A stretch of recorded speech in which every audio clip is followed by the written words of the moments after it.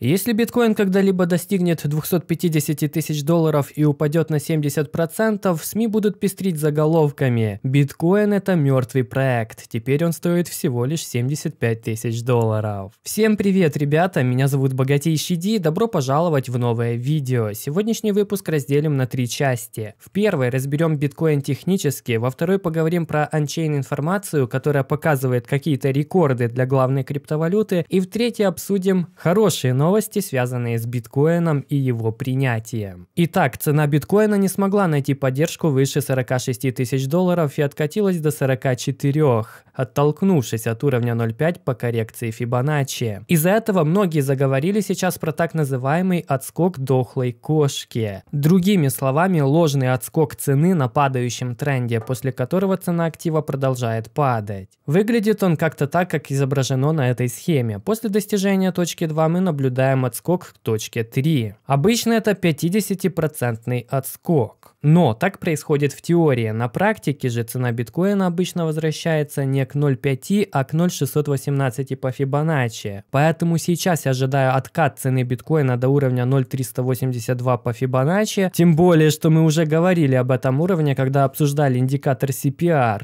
Мы говорили о том, что цена биткоина должна коснуться первой цели по CPR, а затем откатиться от нее. В принципе, так это и происходит. Откат же должен стремиться к нижней цели по CPR, о которой мы тоже говорили, которая, собственно говоря, почти совпадает с уровнем 0,382 по Фибоначчи. Поэтому я не удивлюсь, если мы увидим еще один откат до 42 тысяч долларов. Этот уровень, кстати говоря, очень важен и тем, что с самого начала года выступал то сопротивлением, то поддержкой несколько раз. И сейчас в этом моменте ему очень важно остаться новой линией поддержки, если мы хотим увидеть продолжение роста биткоина. Я думаю, что с первого раза этот уровень точно не провалится, и мы вполне можем увидеть тот самый рост биткоина до уровня 0,618 по Фибоначчи. Обычно так это и происходит в таких ситуациях. Это около 50 тысяч долларов за монету. Также на этот же уровень нам указывает индикатор CPR. Вот вторая цель как раз таки на 50 50 тысячах долларах и находится, почти на том же самом 0,618 уровне по Фибоначчи. Именно поэтому сейчас 42 тысячи долларов должны остаться сильной поддержкой для того, чтобы биткоин оставался в растущем тренде. Возвращаясь к теме отскока дохлой кошки, о которой сейчас многие начинают спекулировать. Они называют происходящий рост на рынке ничем иным, как эксит-пампом. Что это такое? Это так называемый памп перед тем, как выйти из актива. Обычно он происходит из-за того, что большой игрок пампит цену актива, зная, что это будет легко, так как большинство монет выведены с биржи, что провоцирует создание искусственного дефицита. А мы ведь и наблюдали большие, рекордные выводы монет биткоина с бирж. Как только памп набирает обороты и все больше людей включается в него, кит просто берет и разгружается на ничего не подозревающую толпу. Вот об этом сейчас и говорят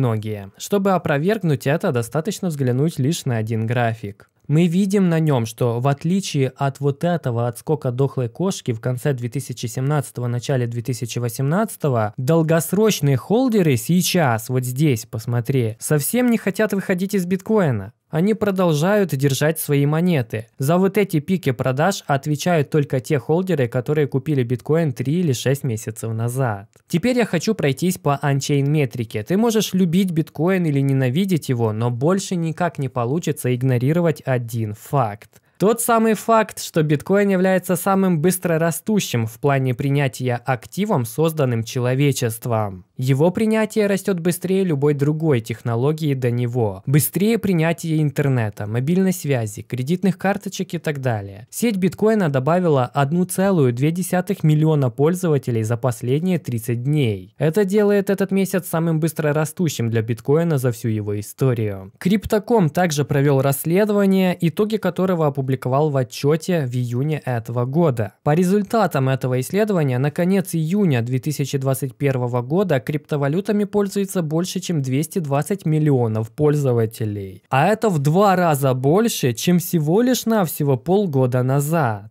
Справедливости ради, принятие эфириума также растет и иногда даже быстрее, чем биткоина, особенно в последние месяцы. Например, в июне 2021, вот здесь, рост принятия эфириума был почти в три раза больше, чем биткоина, 16,1% против 5,8%. Скорее всего, это благодаря грядущему хардфорку Лондона, а также тому, что эфириум наконец приобретает дефляционную природу. Каждая операция с эфиром теперь сжигает какое-то количество монет, тем самым уменьшая его предложение. Некоторые аналитики говорят, что именно это поможет эфириуму наконец-таки обогнать биткоин. Но это тема уже для другого видео. Кто-то посмотрит на это все и скажет, ну все понятно, я не успел. Эта технология уже слишком раскрутилась и набирает бешеные темпы развития, значит уже поздно. Что ж, ты не прав. Посмотри на эту визуализацию глобальной рыночной капитализации различных активов. Попробуй найти здесь биткоин. Где же биткоин? Биткоин находится здесь, в самом-самом низу. Его почти не видно, настолько он маленький. Далее идет золото. Это 11,5 триллионов долларов капитализации. И я до сих пор убежден, что капитализация биткоина как цифрового золота рано или поздно просто обязана быть больше, чем у золота, его устаревшего аналога. Биткоину для этого нужно сделать всего лишь около 10-15 иксов от текущих. Исходя из этого, если он сейчас стоит 44 тысячи долларов, его потенциал вполне хватит на то, чтобы стоить 440 тысяч долларов. Пусть и не в этом году, и даже не через 5 лет, но все же этот потенциал есть. Если посмотреть еще дальше, даже золото кажется совсем уж лилипутом. Фондовый рынок, например, весит почти 110 триллионов долларов, как 10 капитализаций золота. Биткоину до таких отметок под сотню иксов нужно сделать. Из всего этого богатства, золота, денежного предложения, деривативов, фондовых рынков и так далее, биткоин занимает всего лишь 1%, даже чуть меньше. Вот настолько это ранняя технология. Вот настолько мы все еще в начале. А теперь представь себе, когда эти триллионы начнут перетекать в биткоин и криптовалюту, что произойдет с ними? Представь себе этот потенциал. Уилл Климент, биткоин-аналитик, поделился этим графиком, который отображает количество монет, удерживаемых кошельками от 10 до 100 тысяч биткоинов. Как мы видим, с 19 мая этого года кошельки постепенно покупали биткоины. При этом приблизительно 17 июля этого года покупки биткоина этими крупнейшими кошельками значительно ускорились. За время падения биткоинов они купили 269 450 биткоинов. Вот столько монет они по факту отобрали у тех, кто в панике фиксировал убытки на падение 60 до 28 тысяч. Следующий график также подтверждает предыдущий. Мы видим здесь, что 17 июля значительно выросла активность крупных игроков и продолжает расти сейчас. Джордж с канала Крипторус поделился также еще одним индикатором, который показывает рост накоплений у долгосрочных холдеров. Вот здесь. Мы видим, что этот показатель сейчас находится на исторических пиках за последние три года. Сентября 2018 года. Покупка долгосрочными холдерами прямо сейчас взрывается. Причем она начинала взрываться еще вот на этом падении. Долгосрочные холдеры знают, что биткоин это ценность, которая через 10 лет просто-напросто сделает их свободными.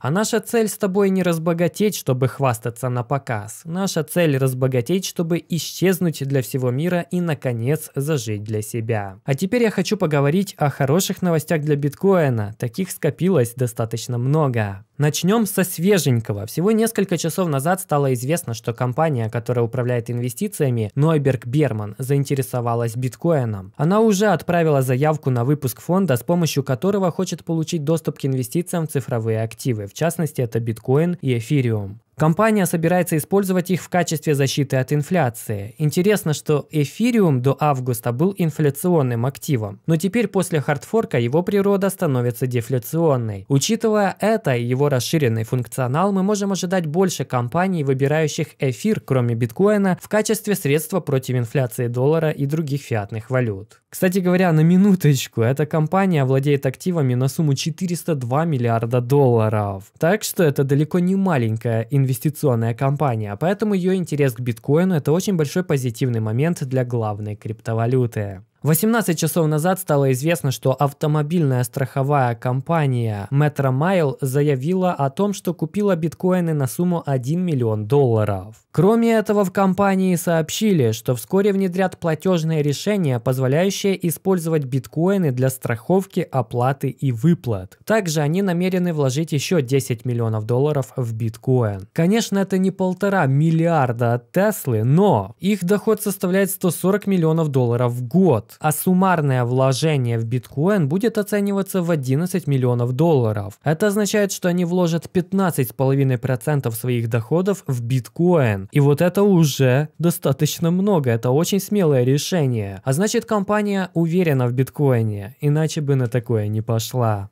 Крупнейшая сеть кинотеатров в мире AMC теперь принимает биткоины и будет продавать билеты за главную криптовалюту. Только в США таких кинотеатров AMC можно найти 593 штуки, это только в Америке. Компания мотивирует принятие биткоина тем, что хочет увеличить продажи на фоне борьбы с экономическими последствиями коронавируса. Конечно бы я никогда в жизни не потратил бы биткоин на билет в кинотеатр, но это я. Многие же с удовольствием будут покупать товары и услуги за цифровые, якобы виртуальные монетки. В любом случае, это еще один большой социальный фактор в пользу того, что биткоин это уже не что-то там в интернете, а вполне себе законное платежное средство. Его принимают некоторые страны и многие компании по всему миру. И, наконец, последняя новость связана с Илоном Маском, но косвенно. Возможно, если в ней покопаться поглубже, можно найти кое-что интересное. Я попробую это сделать, и если я что-то найду, я обязательно расскажу тебе в новом видео. Пятый по размеру банк в США объявляет сотрудничество с криптовалютной биржей Coinbase, а также в их партнерстве будут участвовать компании Илона Маска, Tesla и SpaceX. Это уже интересно, если вспомнить о том, что говорил Илон Маск насчет биткоина, что он собирается интегрировать его в умные дома, в солнечные батареи и даже в свои электромобили. Вот это партнерство явно не является случайным. Пока что подробностей почти нет, известно только то, что банки Coinbase хотят запустить не только криптосервис для своих клиентов, который позволит им инвестировать в криптовалюту, но и создать свой собственный криптопроект. Также они хотят внедрить блокчейн в банковскую инфраструктуру для масштабирования транзакций и других банковских операций. Как мы видим, не все банки настроены против криптовалют. Пятый по размеру банк в США, например, показывает большое желание менять свою инфраструктуру с помощью криптовалюты. Также вспомни о том, что JP Morgan и BNY Mellon тоже крупные банки работают над собственными криптосервисами и готовы запустить их к концу этого года. Так что мы видим, что криптоцунами приближается и захватывает все больше и больше финансовых финансовых организаций, несмотря ни на что. Его уже в принципе никак не остановить. Можно только пережить его, а для этого нужно его принять и адаптироваться к новым технологиям, а не бороться с ними.